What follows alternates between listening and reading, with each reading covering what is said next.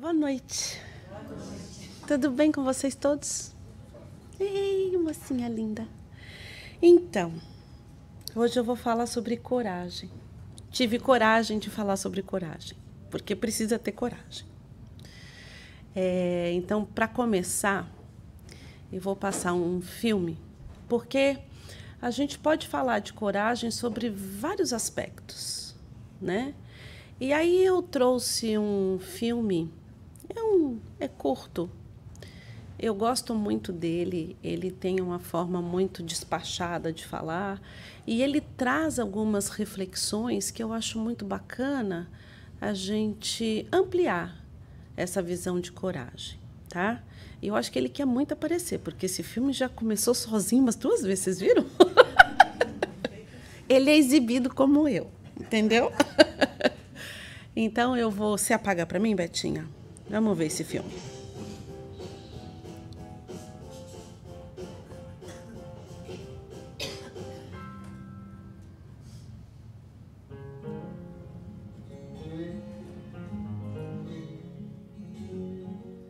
Pergunta: Você é corajoso? Você é corajosa? Você tem coragem? Depende de coragem para quê, tá certo? A gente entende coragem, em geral, como um ato heróico, um herói de guerra. O cara foi corajoso, foi lá na guerra, morreu pela, pela pátria. Isso é coragem? Talvez seja. Eu tenho lá minhas dúvidas se vale a pena a gente se arriscar, perder a vida, morrer por uma questão como essa. Mas esse não é o caso. Meu, ponto é que a coragem. Que coragem? A coragem de ser quem você é. Opa, cuidado com isso aí que é complicado. Eu não estou falando aqui para a gente ser quem a gente é naquela, eu sou quem eu sou mesmo. E os outros que, lembra aquela frase clássica, vocês vão ter que me engolir. Isso não é coragem, isso é grossura, né? Estou falando de outra coragem, aquela coragem que, que a gente é, é, genuíno. Se eu acho isto, eu vou ser fiel a mim mesmo e vou falar, olha, deixa eu te explicar por que, eu acho isso, que é diferente do que você acha. Acho isso por isso, por isso, por aquilo. Assumir os nossos pontos de vista é muito importante. É comum a gente, pela voz de todo mundo, a gente vai porque estão falando. Todo mundo fala, ah, vou usar o mesmo exemplo que eu uso sempre. Todo político é corrupto. Ah, todo político é corrupto. Todo político é corrupto mesmo. Você acha de verdade que todo político é corrupto? Não, claro que não. Claro que tem um, dois, três, cinco, dezoito, quarenta e dois, não sei quantos, que não são corruptos. Todo policial é bandido? Não, todo policial não é bandido, mas tem policial bandido? Ah, tem. Tem político bandido? Também tem. Mas tem executivo bandido, tem professor bandido, tem médico bandido, tem tudo bandido em toda parte mas tem muita gente boa também. Então essas coisas absolutas são muito perigosas. Quer ver outro exemplo que não faz sentido nenhum? Todo é, padre é pedófilo? Não. Mas tem pedofilia na igreja? Teve. E talvez tenha ainda. Aquele filme que ganhou o Oscar recentemente. Né? Mas não dá para pegar por alguns casos e pôr isso como uma regra absoluta. Mas é isso que a gente faz. A gente não tem coragem de assumir as próprias verdades. Então pense antes de assumir uma opinião assim. Quer ver? Tem uma frase que eu acho bacana que diz respeito a isso que eu queria ler para você. É uma frase de um cara espetacular que se chama Ralph Waldo Emerson. Ele tem frases lindíssimas. Eu ainda não li livros dele. Eu preciso ler livros dele porque seguramente vai me enriquecer. As poucas coisas que eu vi dele são espetaculares. Acho que vai ser meu segundo herói, depois de Sêneca, será é, Ralph Waldo Emerson. Entre várias coisas lindas, ele fala o seguinte: é fácil viver no mundo conforme a opinião das pessoas. É fácil, na solidão, viver do jeito que se quer. Mas o grande homem é aquele que, no meio da multidão, mantém com perfeita doçura a independência da solidão. Vamos analisar um pouco a frase do Emerson, o que ele fala? Oh, é fácil viver é, falando, re, reafirmando tudo que as pessoas falam. Aí você não vai ter conflito com ninguém, porque o cara falou, você fala, ah, é mesmo, não, também acho, é, hum, tem razão. Aí é fácil, e talvez seja burro, né? Ele fala, mas também é fácil viver do jeito que se quer se você vive isolado, você está lá no Himalaia, só você. Aí você vive do jeito que você quer, porque não tem ninguém para conviver com você. O grande exercício, fala o Emerson, e fala também o Espiritismo, é viver em sociedade, com opiniões distintas, né? e aprender a conviver nessa, emaranhado de opiniões diversas.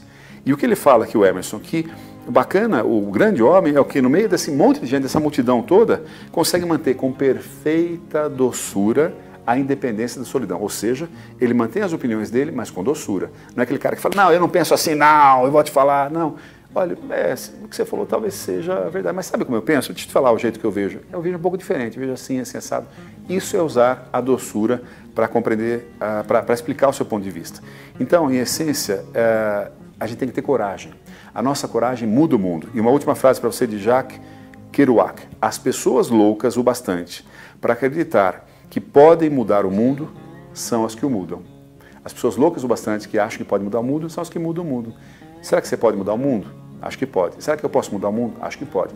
Pense, se cada um de nós, em cada cantinho, começar a mudar o seu mundinho, o mundo todo muda. Se cada um de nós parar de mentir, parar de sacanear o outro, parar de levar vantagem sobre o outro, agir honestamente, cuidar de si mesmo em vez de ficar cuidando da vida do outro, o mundo muda, porque vários de nós fazemos o todo. Mude o seu mundinho, que o mundo todo mudará. Ele falou muitas coisas legais, né? É... E para a gente não se estender tanto, eu vou pegar um ponto que eu achei muito bacana. É, quando ele fala que se você mudar o seu mundo, e aí eu já fiquei toda nervosa. Porque aí quando você fala mudar o seu mundo, é você ter a coragem de olhar para você. Aí eu fui lá buscar o que é coragem. No sentido, o que, que o dicionário nos traz né? Então, assim, o que, que é coragem? Como é que eu defino coragem? Dentro de todos os recortes que coragem tem. Aí ele coloca assim: coragem, moral forte perante o perigo, os riscos, bravura, intrepidez. E também tem uma firmeza de espírito para enfrentar situação emocional e moralmente difícil. E eu acho que é aqui que tem a grande sacada. Eu acho que é aqui que a gente começa a aprofundar um pouquinho mais. Porque é muito.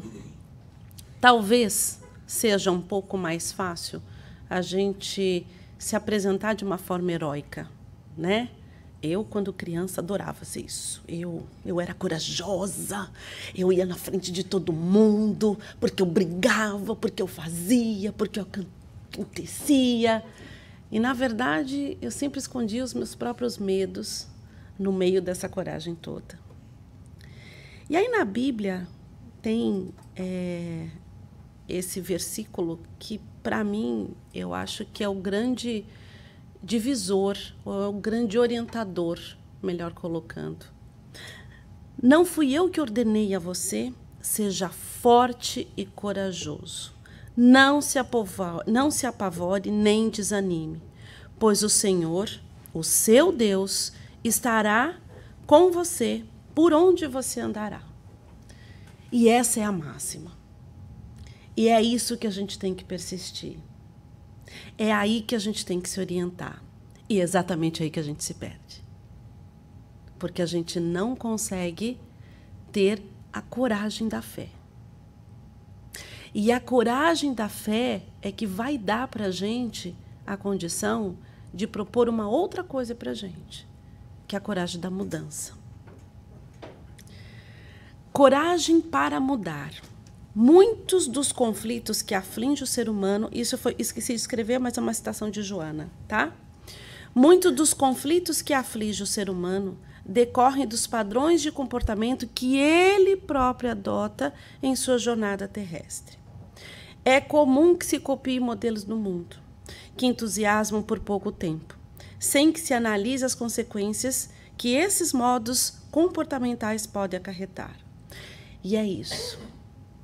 Nós temos, e eu posso falar por mim, uma grande dificuldade que ele fala, né? Precisamos ter coragem de assumir quem nós somos.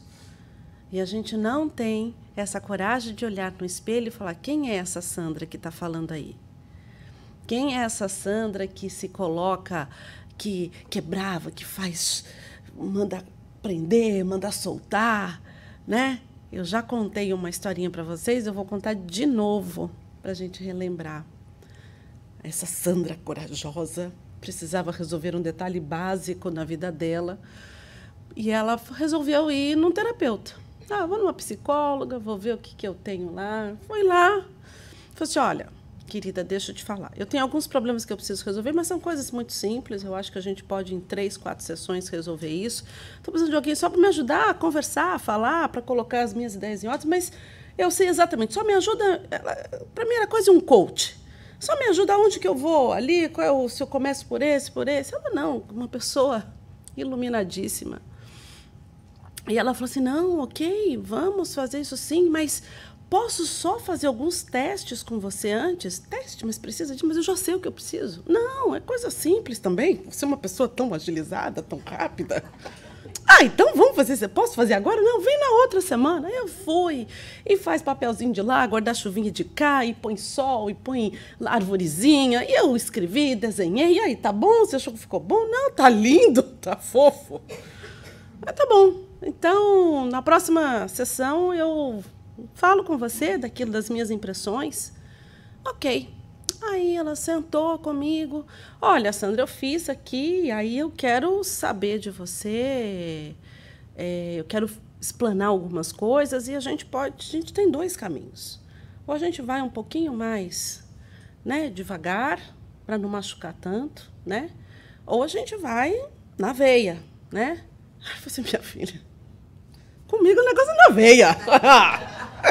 eu sou demais. Não sou demais? Ela falou assim, então, assim, não, negócio da vez, vamos matar esse negócio logo de uma vez, entendeu? Eu não sei bem o que, que você viu aí, mas vamos matar isso. Falei, ah, então, vamos falar sobre seu pai? Eu, não, pelo amor de Deus, não. Tudo. Eu saí do consultório, falei, não, não vou falar mais, não vem mais. Ela, calma, Sandra, calma. Não, eu não estou preparada para falar sobre isso. E cadê aquela fortaleza toda que mandava aprender, mandava soltar? Então a gente precisa aprender a se respeitar. Eu acho que a principal coragem é a gente olhar para nós e ver sim que nós temos fragilidades. E acima de tudo, respeitá-las. Acolher para cuidar. Enquanto a gente não aprender a acolher, sabe o que, que a gente faz? Ou a gente ignora, ou a gente faz uma coisa parecida com isso, mata. Não é isso? A gente mata sentimento. E pior que não é matar sentimento, né? Porque ele fica lá. Exemplos disso são as nossas mediúnicas que a gente participa. E quantos? Quantos não voltam com aquela dor que poderia ter sido cuidada, poderia ter sido acolhida lá atrás. O que era somente uma discussão virou uma dor tão grande que ultrapassa vidas, vidas e vidas. Por quê? Porque nós não tivemos a coragem de olhar para a nossa dor. Nós não tivemos a coragem de olhar para aquilo que realmente nós somos. E é claro que a gente idealiza muitas coisas para nós. É claro que a gente cria, em muitos momentos da nossa vida, é, uma caricatura, vamos dizer assim, eu vou colocar desse nome, não sei se ficaria tão grosseiro, mas esse, esse não é o objetivo, mas imagina que a gente cria um personagem. E esse personagem você sonha com ele. E esse personagem vai te acompanhando, e aí quando você percebe que o personagem que você criou, ele começa a se distanciar daquilo que você é, aí você surta. Porque você gostou daquele personagem, mas tem muita coisa boa aqui que a gente pode olhar. E às vezes é tão bom que a gente tem que olhar que esse personagem é só uma ilusão. E se você, e se eu tive a capacidade de criar esse personagem, ah, eu posso fazer coisa muito melhor na minha vida. Não é não? Se a gente teve a capacidade de criar esse personagem que faz, que acontece, que sobe, que desce, uai, que não tem problema com ninguém, né? Então, assim, então posso eu posso ter contato comigo porque eu sou capaz de fazer até muito mais do que esse personagem que a gente criou. E aí, essa coragem para mudar, essa coragem ela tem várias vertentes. Não é só ter a coragem para mudar, porque mudar também exige esforço. E aí, se eu colocar isso como uma grande espinha dorsal ou com um grande guarda-chuva, você precisa se alimentar de outros filhotinhos de coragem para você se fortalecer, como essa. Aprender a pedir ajuda quando necessário é um ato de humildade e coragem. Então, assim, é, sofre mais quem se acha insubstituível. Sofre mais quem acha que tem que aguentar tudo. Sofre mais quem é aquele que se espelha no Iron Man. Porque nós não somos isso. Nós estamos aqui e a nossa vivência aqui é para que a gente realmente reconheça as nossas potencialidades e também as nossas fragilidades. E quando a gente reconhece as nossas fragilidades, em alguns momentos a gente não vai conseguir dar conta. E aí sim é a coragem de você olhar para o lado e falar: eu preciso de ajuda. O apoio do outro nos fortalece, aumenta nossas chances de vencer os obstáculos e alcançar os nossos objetivos.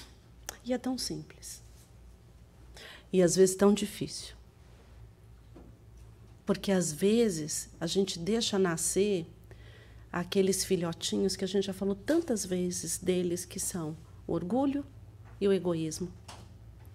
E que nos, não nos permite para que a gente possa realmente fazer o que é verdadeiro, verdadeiro conosco. Tirar o véu de quem nós somos. Coragem é fácil? Não. Não, não é fácil. É você se desnudar. E é muito difícil. É, mas você pode fazer aos poucos. Você pode pegar. É, que nem a que a minha psicóloga falou. Talvez a gente não precise ir na veia. E se respeitar quando você entende que você não precisa ir na veia. E se fortalecer indo pelas beiradas, que esse é o caminho. Porque quando você entende, você cria uma força que aí sim você se torna invencível. Um pouco de coragem é tudo o que precisamos para demonstrar a nossa verdadeira força. E é isso. A coragem não está no maior, no mais forte, ou como dizia a minha sobrinha, no mais grande. A coragem não está aí. A coragem é de você ir passo a passo e se descobrindo passo a passo, chorando cada momento, rindo a cada momento e agradecendo cada conquista.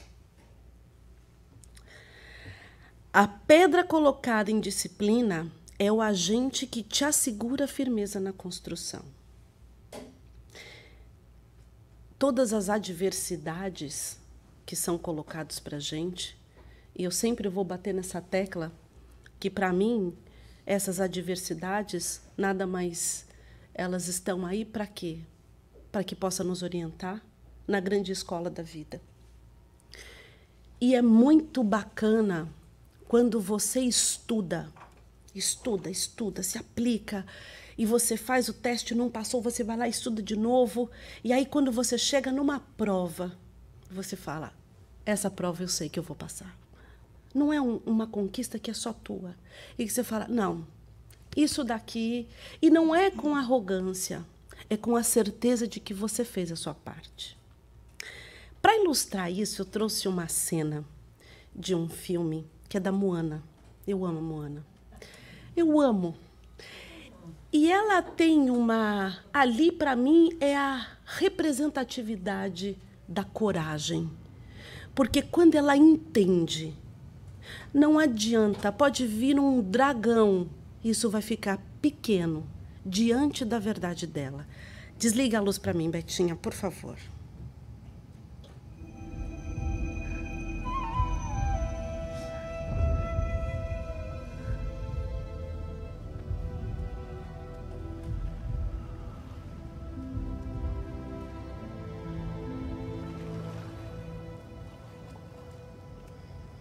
Let her come to me.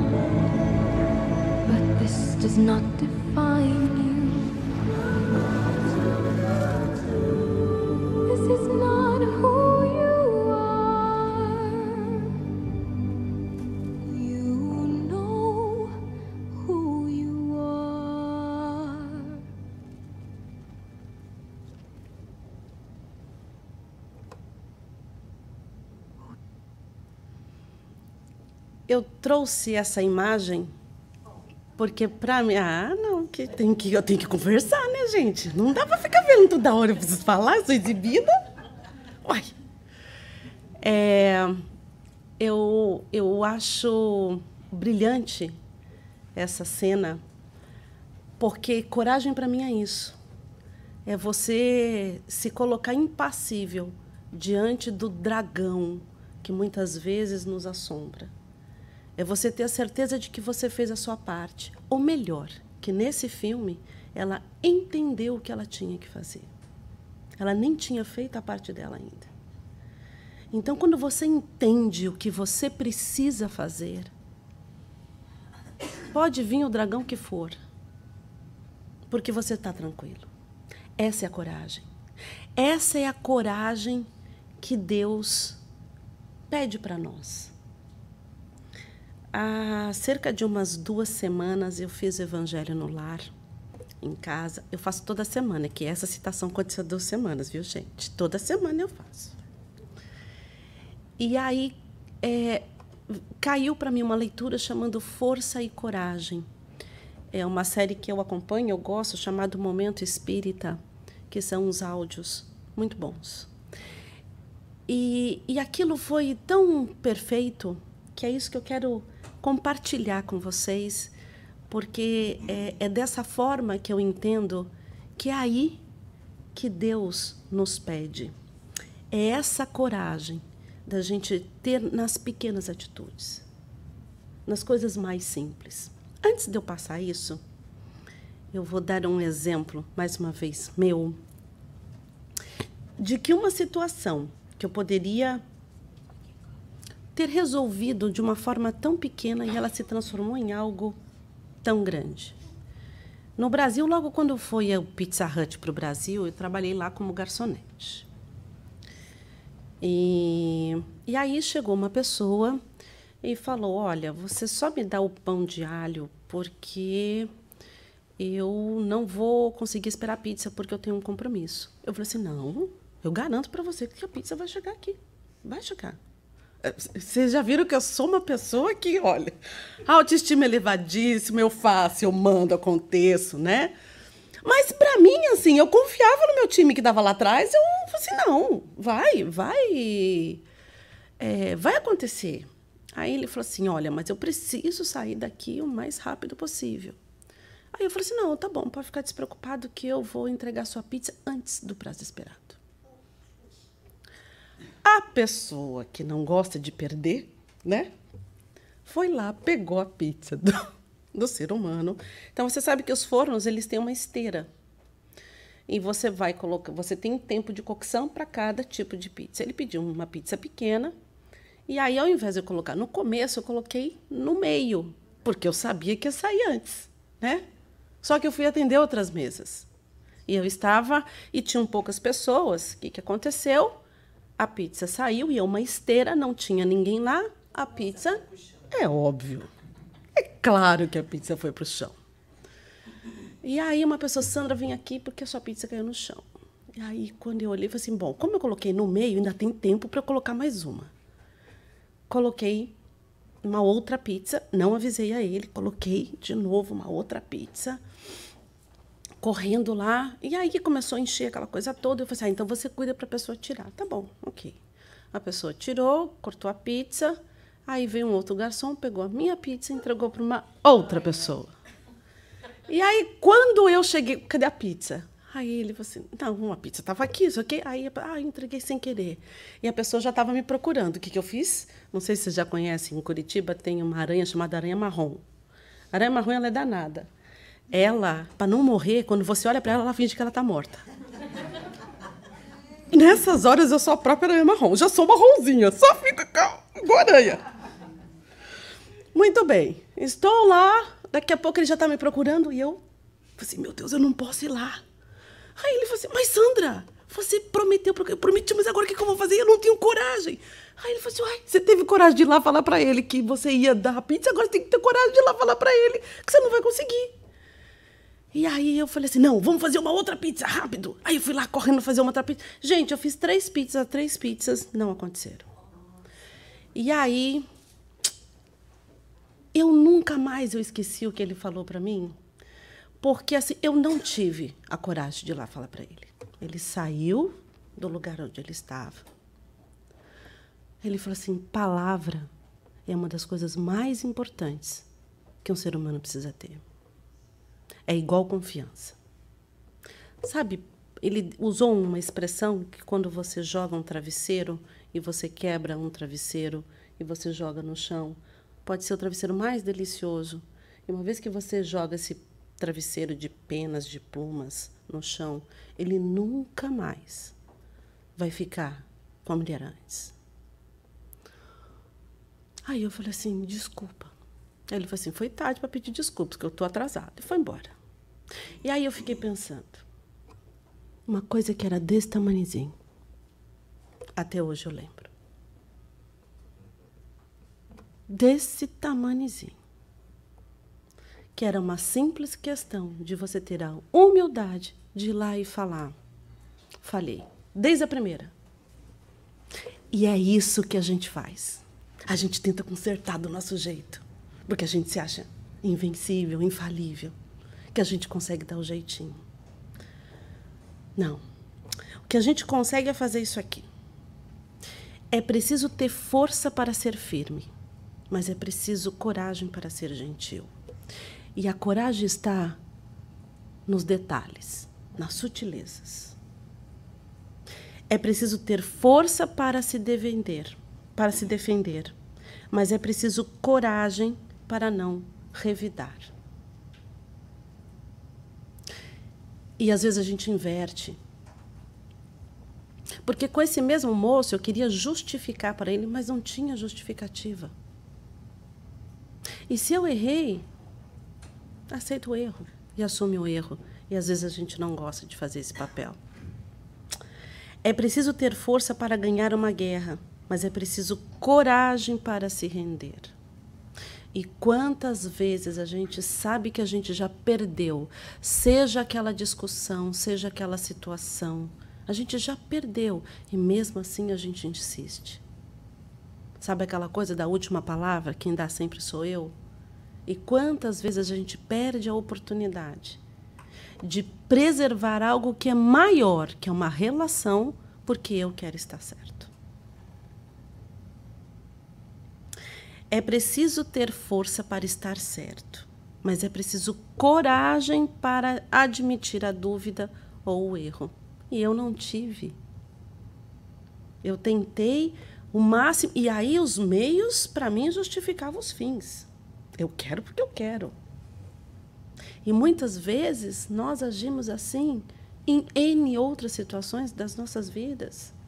E ainda fala: não, eu estou fazendo isso por um bem maior. Mas qual é esse bem? Admitir e ter a falsa ilusão de que nós somos invencíveis, infalíveis e que a gente não erra e que a gente não. Eu conheci uma pessoa que falou assim: não, é muito difícil estar errada. Bom, então já vi que. difícil mesmo você entender o quanto você está errada mesmo. E é isso. Às vezes a gente tem que aprender a aprender com o outro. É preciso ter força para manter-se em forma, mas é preciso coragem para ficar de pé. Nós temos aqui na casa uma atividade a qual eu faço parte e gosto muito, acho que de todas as atividades que tem aqui no centro, essa é que eu mais gosto, que são os GOs, que são os grupos de oração. É, e muitas e esse grupo acontece é um grupo pequeno aonde nós fazemos orações em favor de pessoas que estejam passando por alguma situação, seja elas quais forem, problemas, seja de ordem emocional, de ordem física, até mesmo espiritual. É, E eu acho muito bacana que a gente pede para que essas pessoas, independente de onde elas se encontrem, em que estágio elas se encontrem, que elas tenham coragem. Coragem de sair de uma depressão. Coragem para aprender a não ser mais agressivo. Coragem para se cuidar. Porque tudo isso é um ato de coragem.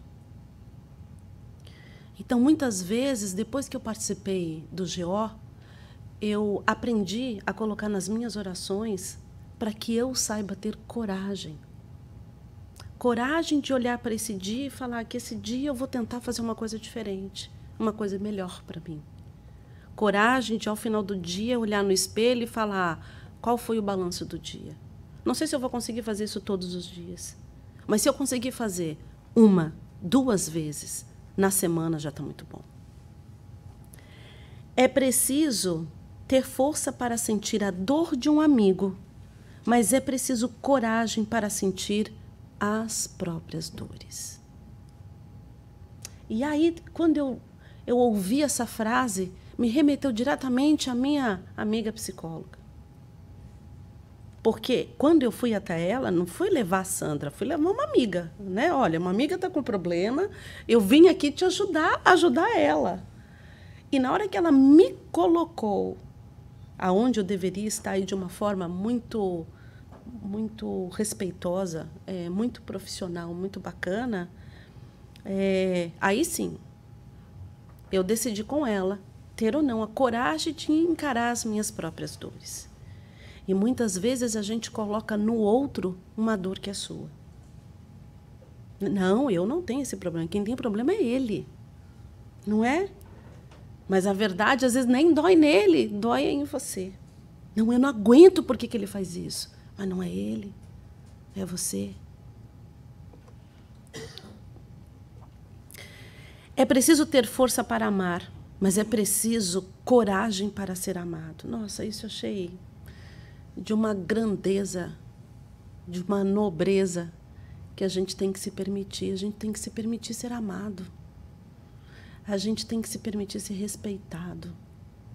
A gente tem que se permitir a, a entender que a gente falha, que a gente pode ter carinho de alguém, que a gente pode ter cuidado de alguém, que a gente pode ficar com aquela gripinha que alguém vai lá vai dar leitinho para a gente na cama.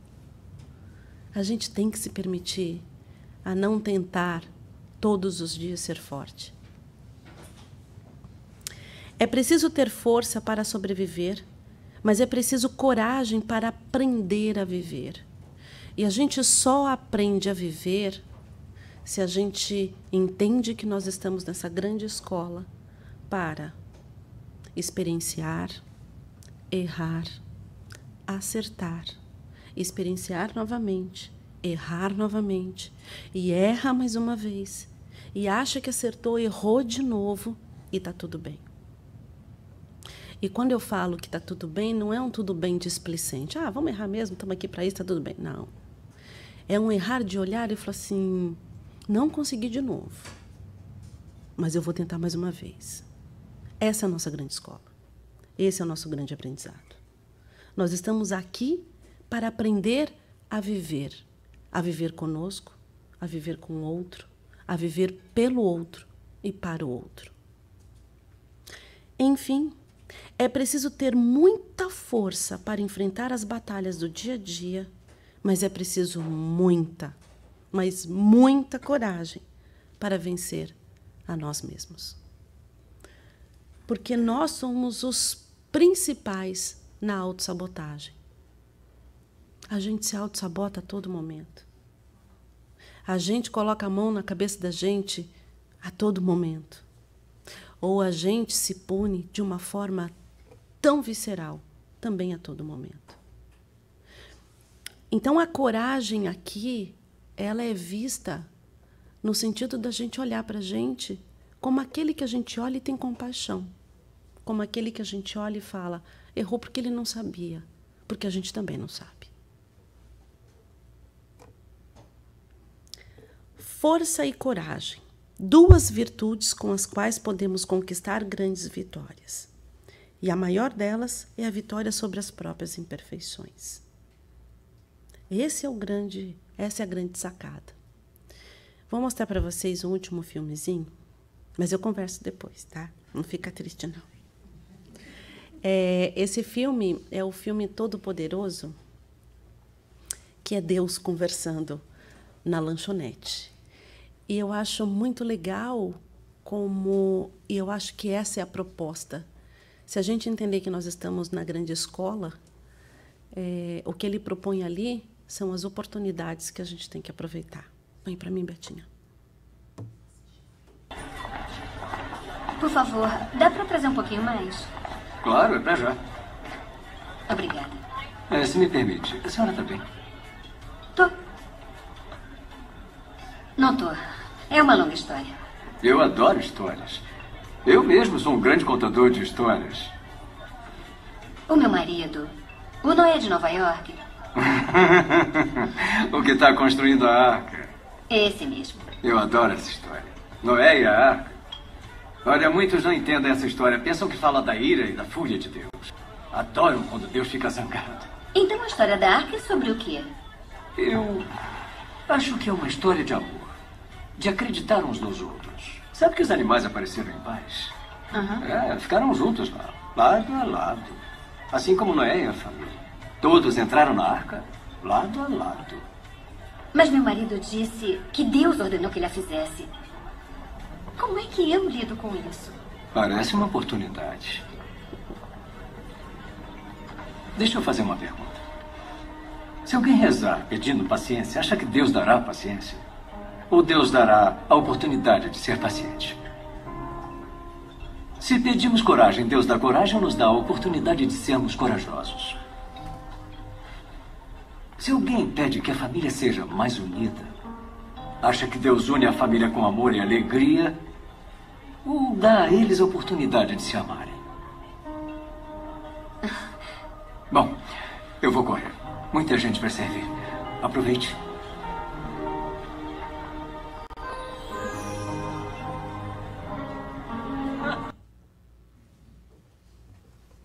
A obrigação moral da criatura para com Deus jamais cessa, porque ela deve refletir as virtudes do Eterno. E não aceita um esboço imperfeito, mas deseja que a grandeza da sua obra resplandeça a seus olhos. E nós somos a obra, a obra dele. E para a gente encerrar, eu trago, eu gosto muito do Braulio, ele é ótimo. Então, ele sempre está às sextas-feiras no encontro da Fátima Bernardes, né? Que faz os cordéis. E ele traz uma citação sobre coragem e que eu achei muito proprietário, muito pertinente. Toda coragem precisa de um modelo para existir. Desculpa. Toda coragem precisa de um medo para existir.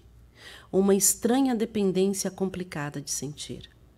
A coragem de levantar vem do medo de cair. Use sempre a coragem para se fortalecer. E quando o medo surgir, não precisa se esconder. Faça que seu próprio medo tenha medo de você. Obrigada, gente. Muita luz.